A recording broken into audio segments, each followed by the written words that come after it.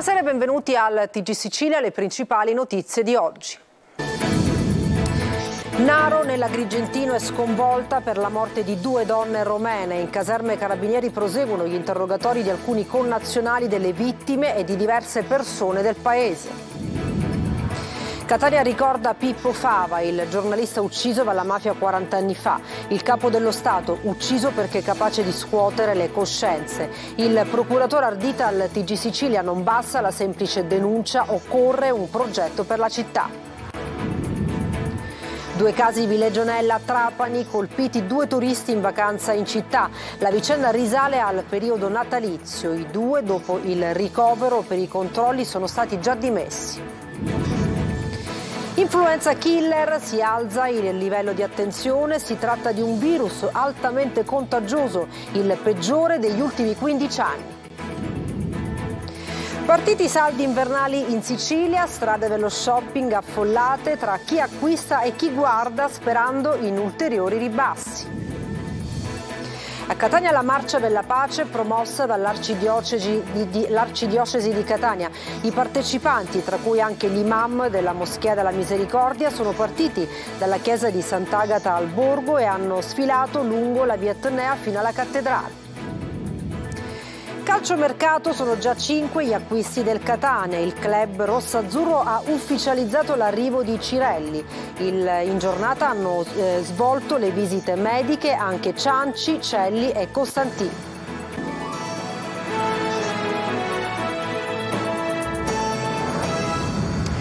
Parliamo del giallo a Naro, nell'Agrigentino, nella locale caserma dei Carabinieri. Gli inquirenti hanno interrogato per ore due rumeni ma anche alcune persone del paese, conoscenti delle due donne trovate morte all'alba nelle loro rispettive abitazioni. Davide Sarto.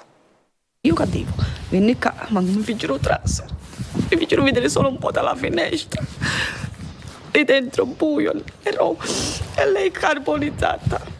E poi niente più ho visto, mi sono sentita male. Non riesce a darsi pace Marcela, la figlia di Maria Rus, una delle due donne rumene rinvenute morte all'alba nella sua casa di Cortile Avenia nel centro storico di Naro in provincia di Agrigento. La 54enne è stata rinvenuta semicarbonizzata ed è improbabile ritenere che sia stata avvolta accidentalmente dalle fiamme. La donna, vedova da alcuni anni, era riversa a terra, rivolta verso l'uscita della sua abitazione. Visto il corpo della mia povera suocera è, è, impossibile che si bruciava così. È non troppo, le ustioni sono molto, alla pelle si vedono os, le ossa, è impossibile. In via Vinci, invece, poco distante da Cortila Venia, è stato rinvenuto in una chiazza di sangue il corpo di Zelia Zarniscu, 58 anni. La donna è stata in modo evidente colpita mortalmente con degli oggetti contundenti. Sul corpo anche ferite d'arma da taglio. La sua abitazione è stata messa a soqquadro. Chi ha assistito alla scena parla di una feroce inaudita, sconvolti i vicini di casa. Non davano disturbo a nessuno se vedevano salutavano, non davano nessuno disturbo.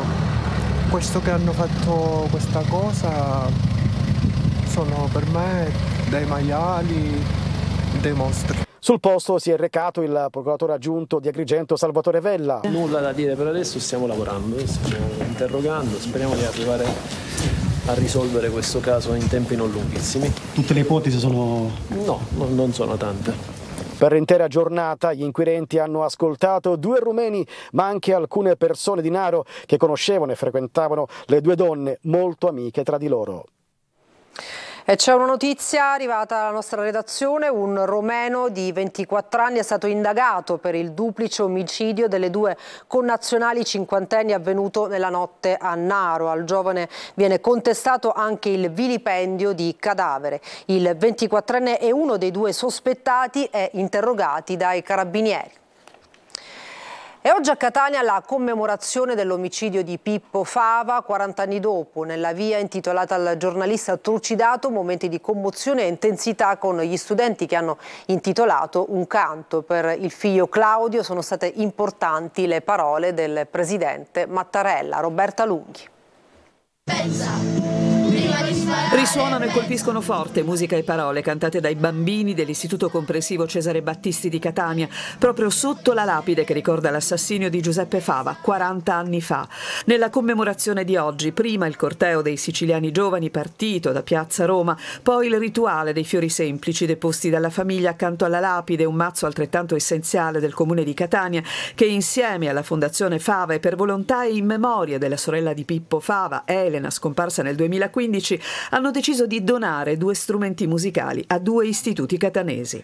E nel segno delle parole cantate, così come quelle che soffiano nel vento della magica Blowing in the Wind, altra esecuzione studentesca, anche Claudio Fava si è soffermato. Oggi di parole nei confronti di suo padre ne sono state dette tante dalle istituzioni, qui dai ragazzini, dalla gente comune. Che effetto le fanno tante parole?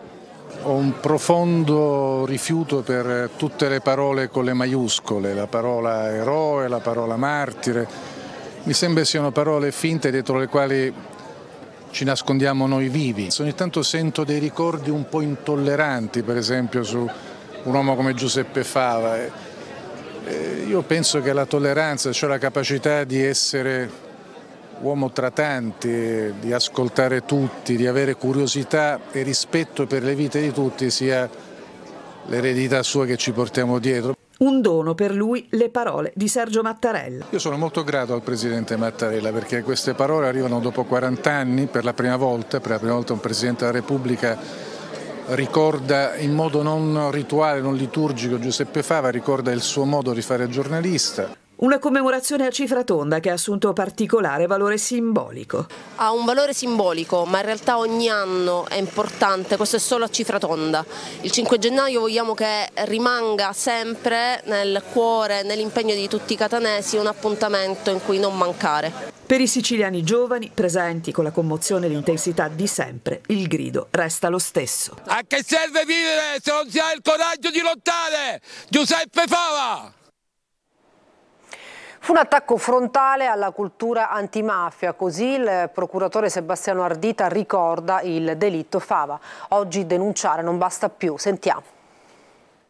Un delitto che ancora fa rumore, lo ricorda così il giudice Sebastiano Ardita, procuratore del Tribunale di Catania. Ricordo un po' lo stupore anche per la gravità dell'evento, perché comunque si comprese che era eh, un atto che rompeva a Catania un momento di equilibrio che c'era stato per molto tempo, era un attacco frontale alla, alla cultura, alla, alla, cultura antimafia, diciamo alle istituzioni anche se eh, la vittima era un giornalista. 40 anni fa la mafia a Catania dei poveracci e dei dominaddio, come l'aveva definita Fava, oggi ha cambiato pelle. La nuova mafia, la mafia eh, nel rapporto che esiste fra criminalità e potere che si è diffusa e che è diventato un modello vincente meno aggredibile proprio per le sue grandi coperture e per la sua capacità di non attaccare frontalmente lo Stato, ma di eh, per certi versi blandire la sua azione. Lotta alla mafia che passa anche da un impegno collettivo. Denunciare non basta più, occorrono nuovi modelli di verifica dell'impegno pubblico, dell'impegno privato, ma forse occorre un progetto per la città, un progetto di solidarietà per la città. Acqua inquinata a Trapani e allarme dopo i due casi Villaggionella scoperti in città. Una vicenda che risale al periodo natalizio e che ha avuto come protagonisti due turisti in vacanza in città. I due dopo il ricovero per i controlli sono già stati dimessi. Laura Spanò. Erano stati ricoverati al Sant'Antonio Abate di Trapani due turisti italiani che, ospiti in un hotel del centro storico del capoluogo, avevano accusato i sintomi della legionella, sintomatologia poi confermata dalle analisi effettuate presso il nosocomio. Entrambi, al momento del ricovero, la vicenda pare risalga al periodo di Natale, manifestavano problemi respiratori. Era scattato da subito il protocollo previsto in questi casi. L'ospedale Sant'Antonio Abate ha informato l'ASPE che ha avviato un'azione di monitoraggio eseguendo un controllo presso la struttura di ricettiva dove alloggiavano i due turisti. Il sindaco di Trapani, Giacomo Tranchida, pur allertato della vicenda, aveva emesso un'ordinanza a fine dicembre di inibizione all'utilizzo delle camere della struttura ricettiva fino al ripristino delle condizioni di sicurezza per tutelare la salute degli ospiti. Gli ulteriori esami effettuati nella struttura ricettiva dai tecnici dell'ASPE avevano infatti accertato la presenza del batterio, in particolare in quattro camere dislocate su tre differenti piani, due al primo, una al secondo, un'altra al al terzo piano. L'ordinanza comunque rimane in vigore fino a quando non verranno adottati da parte del titolare dell'albergo tutti gli accorgimenti indicati dall'ASP.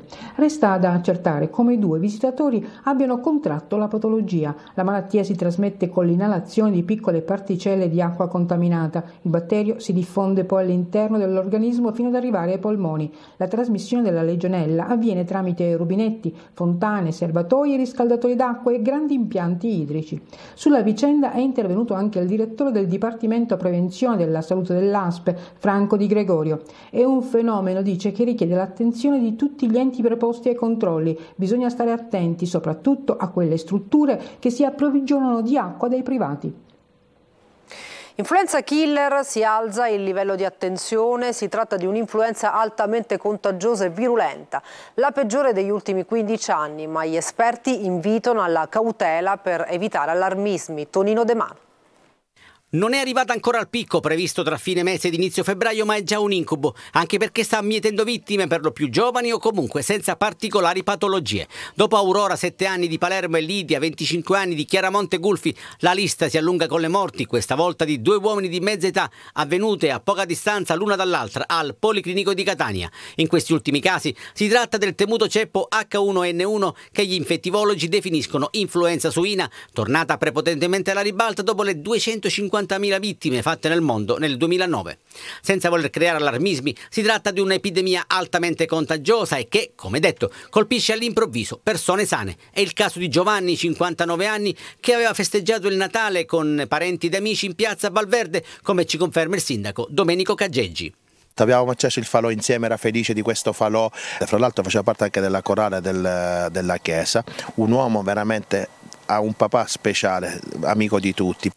Tosse, febbre alta, problemi respiratori e ricovero prima al Canizzaro e poi al Policlinico di Catania dove è morto in poche ore. Il sindaco di Valverde ribadisce però che non c'è alcun allarme febbre suina. Non c'è nessun allarme, è un'influenza che tocca tutta l'Italia, cinque tipi di influenza. Certo, l'allarmismo c'è, però non c'è un problema a Valverde perché non ci sono problemi di spazzatura, non c'è nessun allarme sanitario. Si tratta comunque di un'influenza altamente contagiosa, la peggiore degli ultimi 15 anni hanno spiegato gli infettivologi che hanno puntato il dito anche sulla scarsa campagna vaccinale di quest'anno. È consigliato l'uso di antivirali mentre è da escludere una terapia antibiotica. I comuni medicinali da banco assunti per il raffreddore e l'influenza stagionale possono aiutare ad alleviare dolori e febbre. E ora una rettifica nell'edizione di pranzo del nostro telegiornale per errore è stata indicata tra le persone morte per influenza anche la signora Alfina Greco di Valverde. La signora in questione, va precisato, aveva contratto il virus H1N1 ma si era poi negativizzata. Il decesso è quindi avvenuto per altre cause. Politica in subbuio al comune di Palermo, la RAP, l'azienda che si occupa della raccolta rifiuti, litiga, litiga con il sindaco La Galla. Lega e Forza Italia puntano il dito contro Fratelli d'Italia per la dispendiosa organizzazione del Capodanno con Elodie, 450 mila euro. Marco Gullà. È ormai battaglia aperta tra la RAP e il sindaco di Palermo Roberto Lagalla. Al presidente della partecipata, che si occupa della raccolta rifiuti nel capoluogo siciliano, non sono affatto piaciute le dichiarazioni del sindaco sull'emergenza spazzatura in città. La Galla aveva detto o la RAP trova delle soluzioni o provvederemo in estate in altro modo. La risposta dell'azienda e dei sindacati è lo stop ai doppi turni dei lavoratori. In questo modo la città non potrà che soccombere sotto i cumuli di immondizia che già da giorni la soffocano a causa degli arretrati nel periodo natalizio. Giuseppe Todaro, presidente della RAP, sulla tavica emergenza dell'azienda ha detto il primo problema è il personale. Abbiamo un'età media altissima dei dipendenti che rende il 30% praticamente indisponibile ai lavori pesanti. Mandiamo 70 lavoratori all'anno in pensione. Tra il sindaco e il presidente Todaro ci sarà un incontro nelle prossime ore. Si cercherà di ricucire per evitare un'emergenza nell'emergenza, anche perché da oggi molti dipendenti potrebbero andare in ferie sfruttando il ponte dell'Epifania. Dissidi interni anche nella politica di Palazzo delle Aquile. Dopo Forza Italia anche la Lega attacca l'amministrazione comunale sul concerto di Capodanno in piazza Politiama con l'artista Elodie. La maggioranza di centrodestra che governa la città continua a sgretolarsi, questa volta sull'evento cardine di fine anno voluto fortemente dall'assessore meloniano alla cultura Giampiero Cannella, che è anche segretario regionale di Fratelli d'Italia. E a termine del tavolo tecnico tra Comune e RAP che si è tenuto oggi si è preso atto delle carenze dell'azienda che hanno portato a un'emergenza nella raccolta dei rifiuti in città. La RAP si impegnerà a una razionalizzazione del personale per recuperare l'arretrato che si è accumulato sulle strade e ovviare al mancato rinnovo degli accordi di secondo livello, determinato dalla intervenuta astensione sindacale. E cambiamo argomento, saldi al via in quasi tutta Italia, strade dello shopping affollate anche in Sicilia, tra chi acquista e chi guarda in vista di ulteriori ribassi. Eva Spampinato.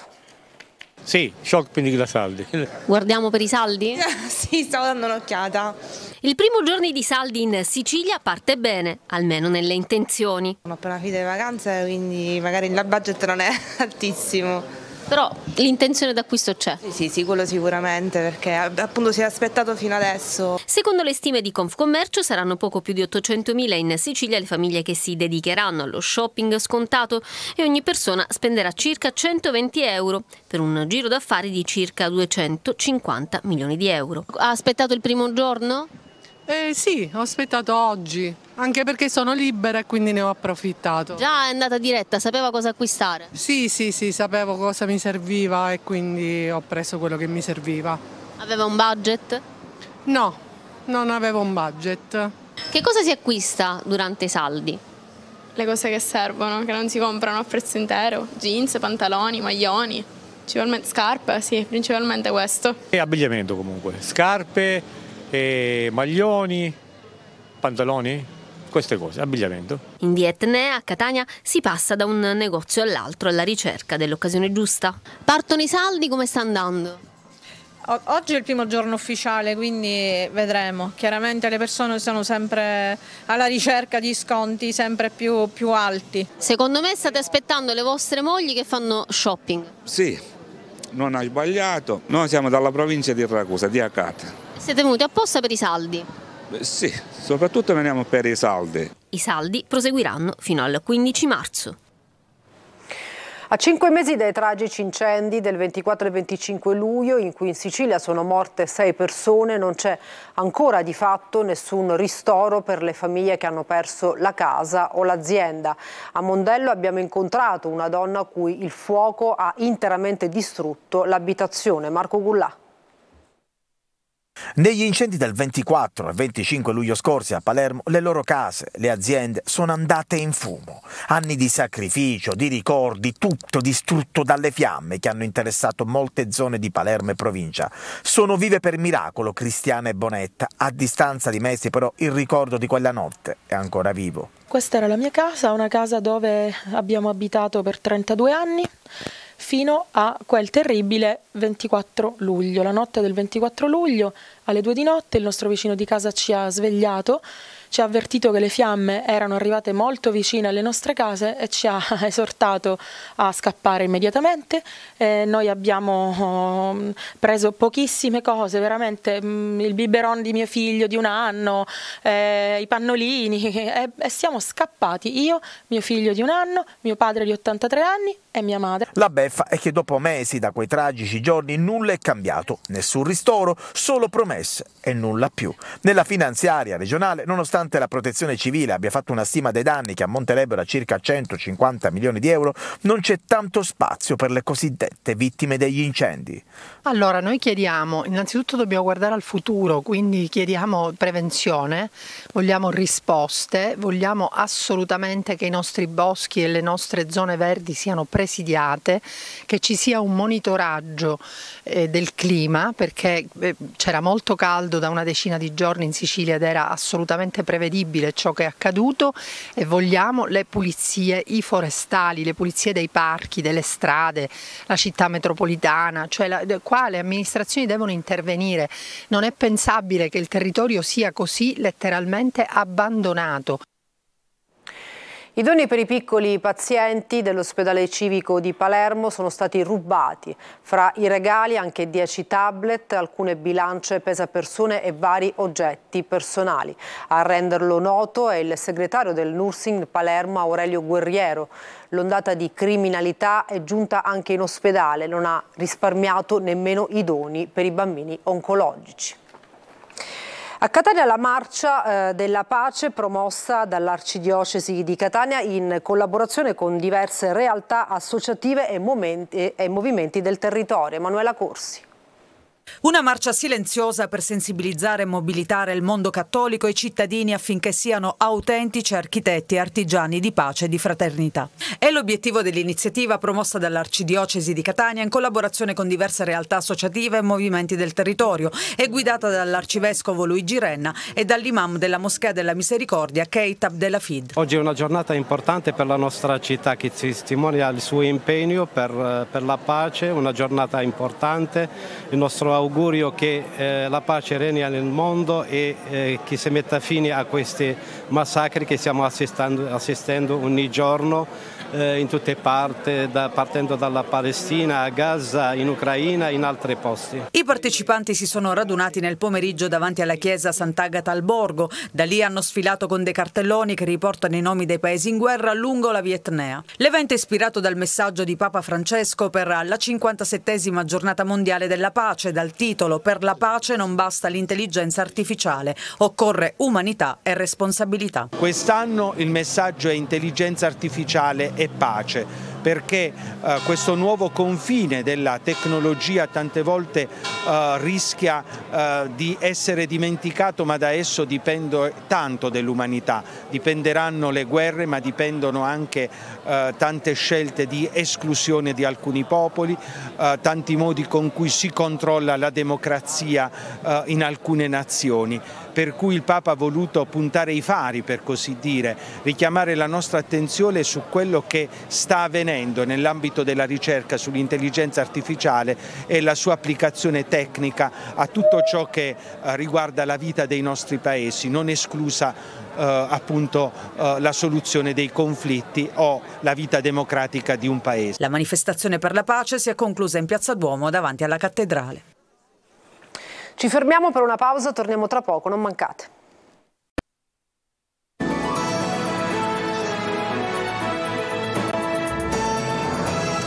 Bentornati al TG Sicilia, mercato con i botti per il Catania, ufficializzato nel pomeriggio l'arrivo di Cicerelli, ma hanno svolto le visite mediche anche Cianci, Celli e Costantino. Francesco Triolo.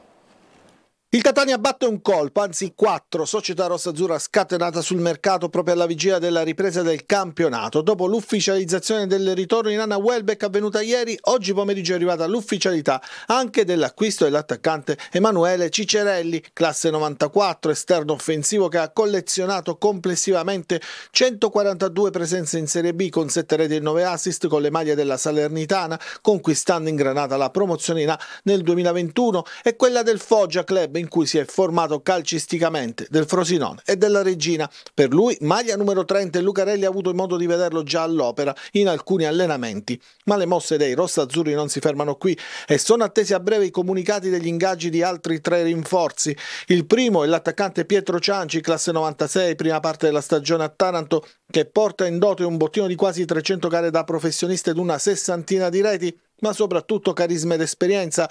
Altro arrivo quello di Alessandro Celli, difensore, un jolly che Lucarelli conosce bene per averlo allenato alla Ternana e proprio dalla società Umbra arriverà a titolo definitivo con un bonus in caso di promozione in B del Catania. Entrambi hanno già svolto le visite medie e quindi il loro ingaggio può essere considerato solo una formalità così come quello di Rocco Costantino che anche lui ha già svolto le visite mediche, 33 anni, ultimi due campionati e mezzo al Monterosi con 30 reti all'attivo in campionato e il classico bomber di categoria, tre innesti mirati che vanno a rinforzare alcuni reparti dove il Catania nella prima parte della stagione ha sofferto, soprattutto davanti. L'obiettivo e provare ad averli a disposizione già dalla trasferta di domenica a Crotone. Sulla gara invece Lucarelli è stato chiaro e si attende dalla sua squadra di dare continuità dopo il successo di Benevento prima della sosta. Noi quello che abbiamo bisogno in questo momento è di eh, fare un altro risultato positivo, di andare a Crotone col piglio giusto perché la partita è complicata, perché troviamo una squadra che ci ha già battuto eh, alla prima giornata di campionato eh, ci ha tirato il collo eh, fino a, al 120 nella, nella, partita di Coppa Italia. Eh, avranno il dente avvelenato per quell'eliminazione, avranno il dente avvelenato per l'ultima sconfitta in casa con l'Avellino. E per questa edizione è tutto, grazie per averci seguito e buona serata.